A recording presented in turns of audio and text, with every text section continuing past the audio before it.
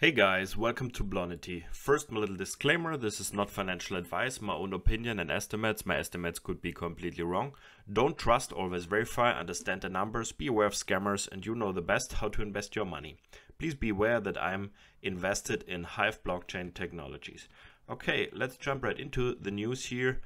Um, we have, yeah, good news from Hive blockchain. Um, they bought more than 3,000 new Bitcoin ASIC miners um, to increase the production by 46%. The good thing is it's immediately. So um, I think they were hosting these miners for um, Foundry for this big mining pool um, in in the facilities, for example, in Lachute in Canada and New Brunswick. And now they bought these miners from Foundry, so they already have them installed in the facility. And now they're following with the hash rate the Foundry mining pool. So um, yeah, very interesting partnership here. Um, I think uh, 8 is doing the same. Um, Bitfarms, I think, uh, is mining. I don't, I don't know. I don't think they have the hash rate dedicated to Foundry, but they also bought miners from Foundry. Yeah, we will see. So yeah, first of all, let's go to the news here. Um, so 264 petahash here, increase 46%. Um, right now, Hive blockchain has um, 830 petahash, uh, which generates, or the addition generates like 80,000 US dollars in daily income. So these new miners, um, with the 830 petahash, yeah, you generate right now 250,000 US dollars in revenue.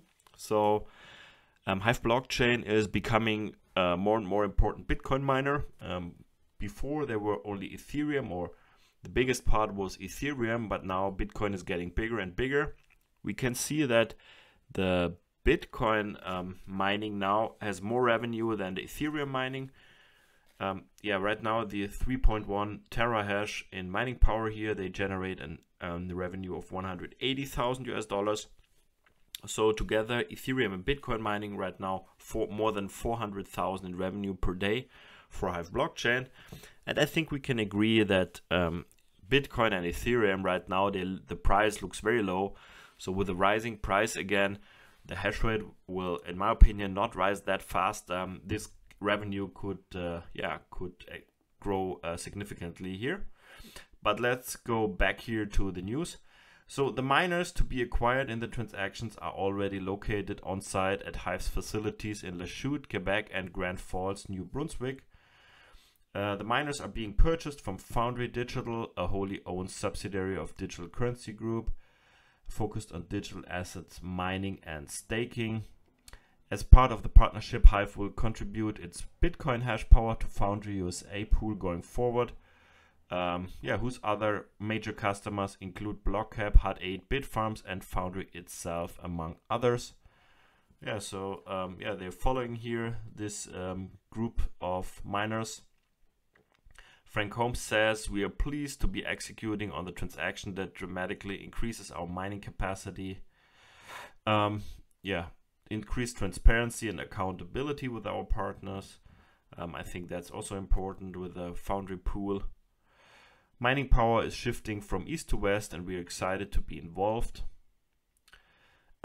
yeah, we can see here some warrants and some cash. We don't know uh, the cash, how much cash is um, does it cost but uh, yeah 1.5 million warrants here I mean Hive has approximately 360 million shares outstanding something like this maybe more right now so 1.5 million it's it's less than 1% so it's it's not not a big dilution here for sure the hodl strategy Hive right now um, has 605 bitcoins in cold wallets so nice hodl here and it's growing um, Yes, and Hive is following now the, the Foundry mining pool. Um, let's go there. Um, we have it here. So the Foundry mining pool is right now number seven uh, on a global scale. I mean, the, the Chinese pools, they drop big. We know this, the market share drop big. Foundry right now has 5.6 exahash um, running here. What's also interesting, that the Mara pool here is at number 9 with 2.35 exahash.